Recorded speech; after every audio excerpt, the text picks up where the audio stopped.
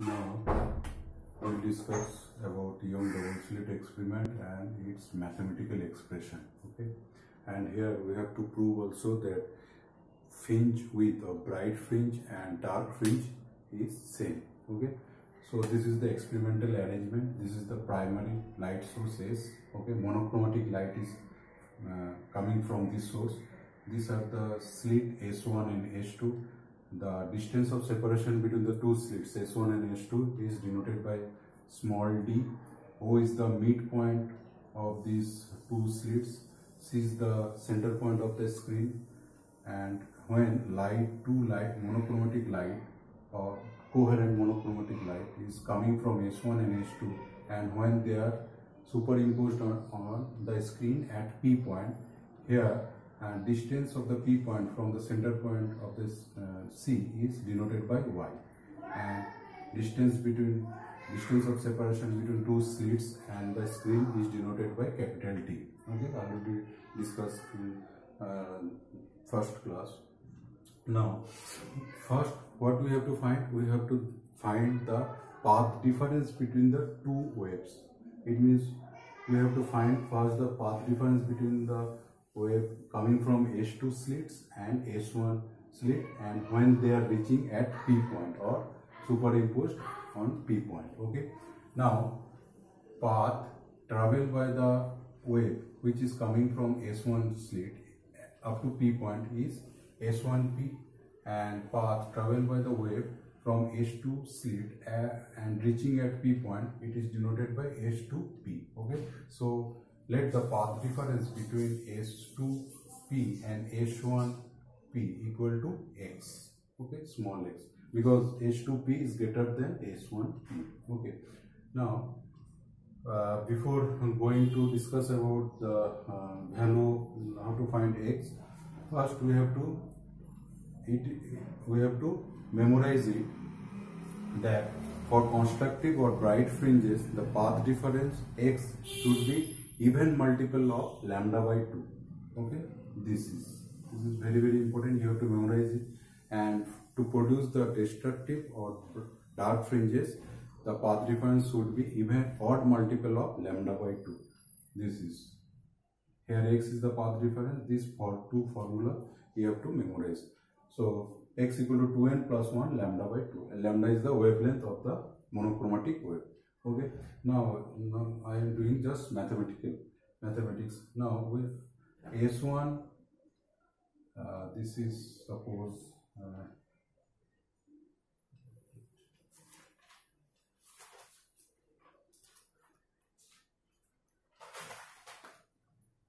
uh, this point is a this point is b.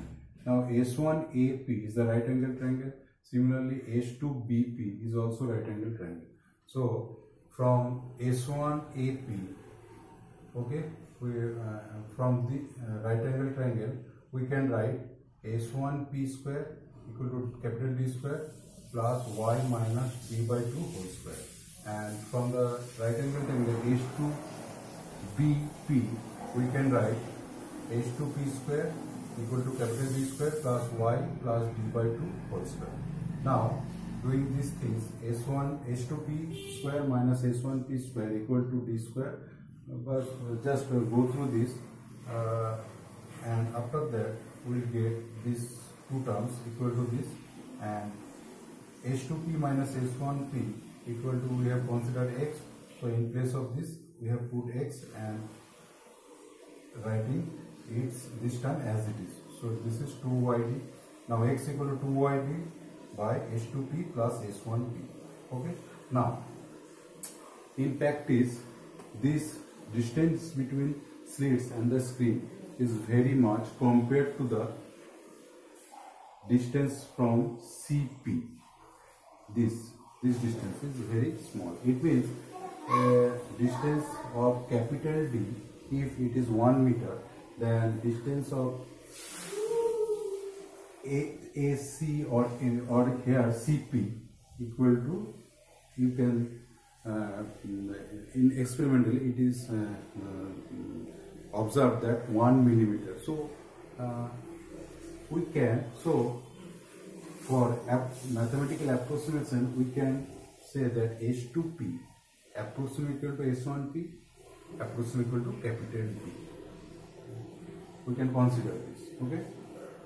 So S1P and H2P approximately equal to D. We can say approximately we can take.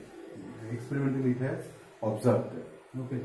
Now, now uh, putting that condition, we will get in place of this, this is D, this is D, so 2D, so X equal to this, YD by Y small d by capital D. Okay, this is the path difference. Okay. Now, for bright fringes or minima, we know the path difference should be even multiple of lambda by 2. So we have to put this condition x equal to 2n lambda by 2. Now putting this in place of x, we put this value.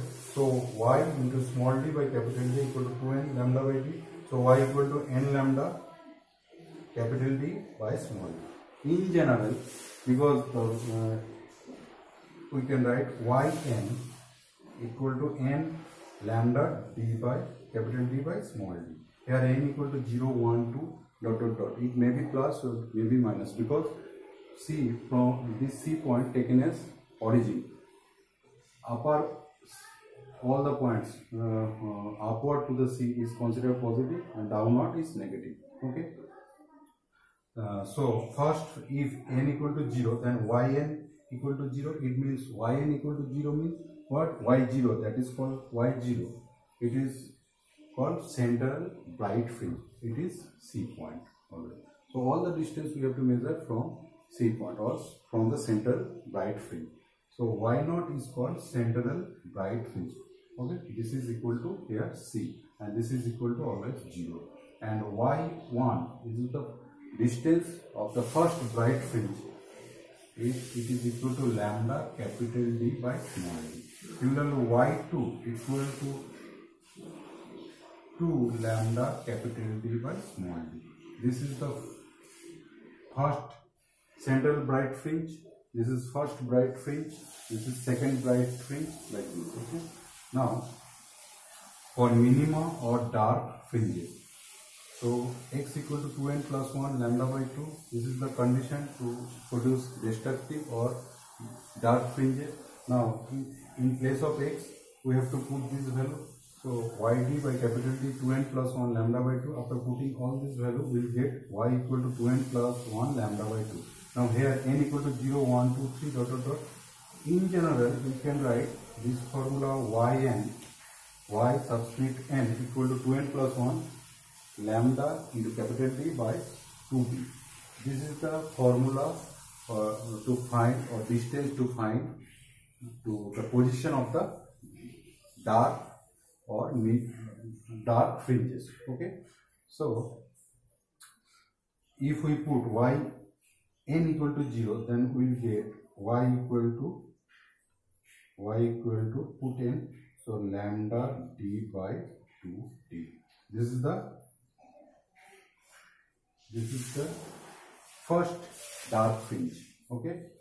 Similarly, if we want uh, n equal to 1 to that you get second bright fringe. Okay. You just uh, go through this notation also. Okay. Now fringe width. It means we have to find the.